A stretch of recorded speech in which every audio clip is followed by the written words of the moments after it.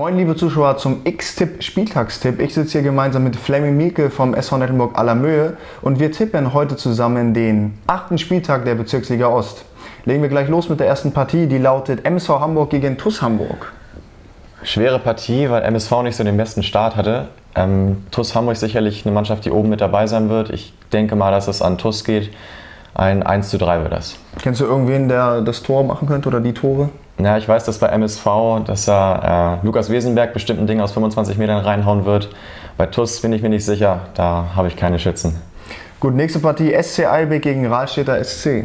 Ja, da weiß ich auf jeden Fall, dass Nadolny ein, zwei Dinger machen wird. Das wie immer wahrscheinlich. Ja. Wie immer, genau.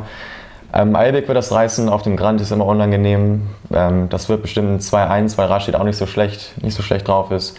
Aber Eilberg wird das trotzdem wuppen. Nächste Partie ist für dich auch ganz spannend, glaube ich. Sternschanze 2 gegen SC Ventorf. Ja, Sternschanze ähm, hat einen guten Innenverteidiger, mein, mein Chef bei FC, beim FC St. Pauli.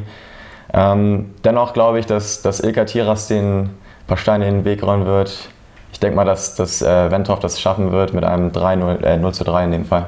Der Bulle vom Bosporus bei Ventorf. äh, nächste Partie TSV Glinde gegen SV Börnsen. Ganz schwer zu tippen, weil beide Mannschaften nicht den besten Start hatten. Ich glaube allerdings, dass Punat da ein, zwei Dinger machen wird. Das wird ein, das wird ein 0, 0 zu 3, würde ich sagen. Nochmal. Der alte Routinier bei Börnsen. Genau. Nächste Partie, äh, ganz junge Mannschaft, ETSV Hamburg gegen eine ganz junge Mannschaft, Voran OE2. OE haben wir schon gespielt. Ähm, auch OE hatte nicht den besten Start. Ich glaube allerdings, dass Eisenbahn, die ja auch nicht so toll gestartet sind, das wuppen wird, weil die eben zu Hause spielen, wird ein knappes 1-0. Ein knappes 1-0 kommen wir dann zur nächsten Partie. Auch äh, für mich ein Herzensspiel SCVM 2 gegen den FSV Gestacht.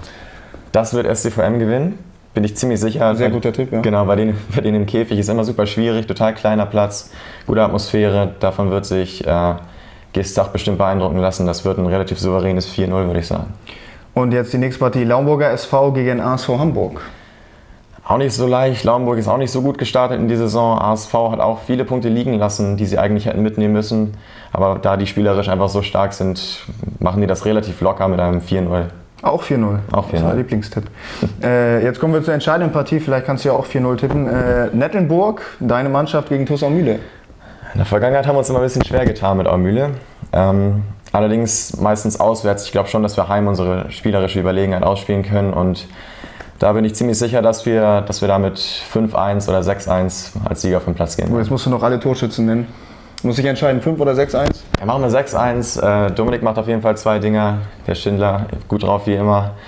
Dann äh, macht das in Sigmund wahrscheinlich auch noch seine zwei und dann kommt natürlich der Kopfball von Fleming in der 90. nochmal. Das klingt gut, ja. Genau, und dann macht natürlich unser, unser Ulle noch ein Ding, um das Ganze abzurunden. Liebe Grüße auch von mir an Ulle. Vielen Dank. Grüße, Ulle.